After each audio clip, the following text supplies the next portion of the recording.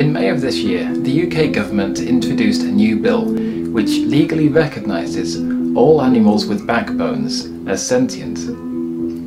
That's right, you're surrounded by sentient creatures, and if that's making you think of something like this, don't worry, you're not alone, and you're confusing it with sapience. Now, these two words sound pretty similar, and a lot of people use them interchangeably, but they mean very, very different things.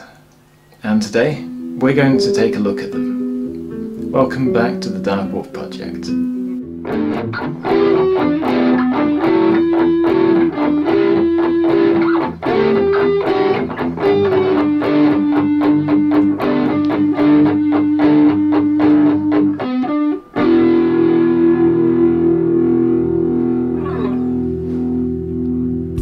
First up, let's deal with sentience.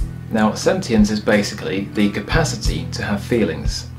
Now, that's not the same as having emotions.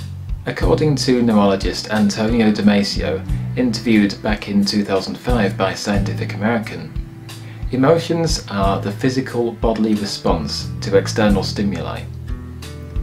Feelings, however, are the conscious acknowledgement of those responses.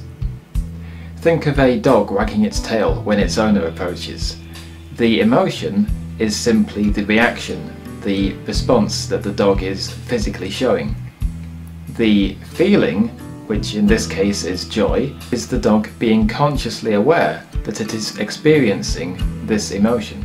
Now, here in the UK, any animal which can display an emotional response is considered sentient. Back in 2009, the RSPCA put forward a set of criteria to define what an emotional response is, and this includes detecting the release of endorphins in a creature's brain in response to pain.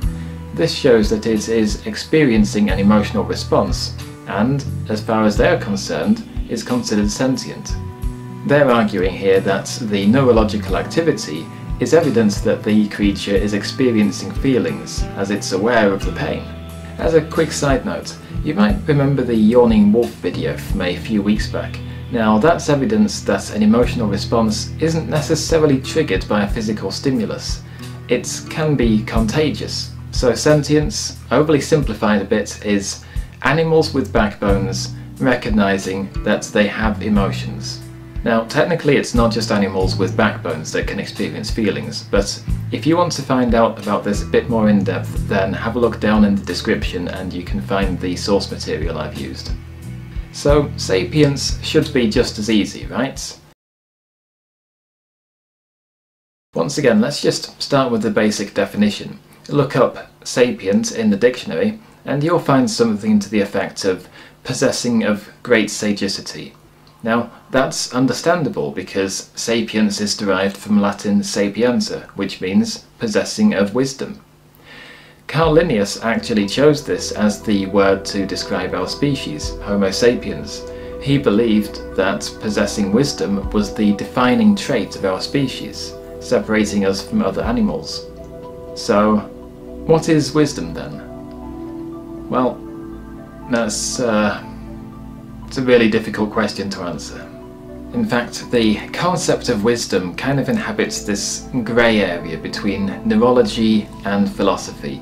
It's kind of hotly debated and I expect probably will be for the foreseeable future. I'm going to do my best to try and keep things simple for this video though, so I've adapted some of Professor George Mobus's text from 2005.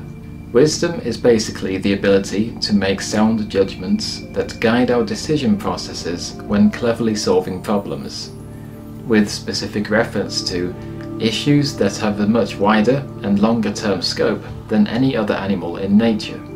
He follows that up with, and I quote, there seems to be ample evidence that the majority of we humans are not wise in any real meaningful way. And he has a point. We're prone to making bad decisions as individuals, and as a species, we've made some worse ones. So, humans aren't a great textbook example of what sapience actually is, but for the purposes of keeping this video short, let's just compare the two definitions side by side. Sentience Animals, including us, who are aware that they have feelings. Sapience, humans who can make informed, sound judgments and decisions in the long term.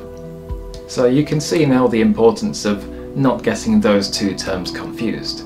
If you are campaigning for animal rights or the ethical treatment of animals, then maybe this will help lend a bit of weight to your arguments by using the correct terms properly. As always, the sources I've used for all of this are down in the video description. And if you'd like to help out with my project, then you can find me on social media. Just type this in on the search box. And if you want to help out even further, why not have a look at my website? You can find artwork and merchandise that I've created with a natural science theme, and the proceeds from this go directly towards helping my friends who carry out vital fieldwork and research. So, here's the statement I'm going to leave you with today.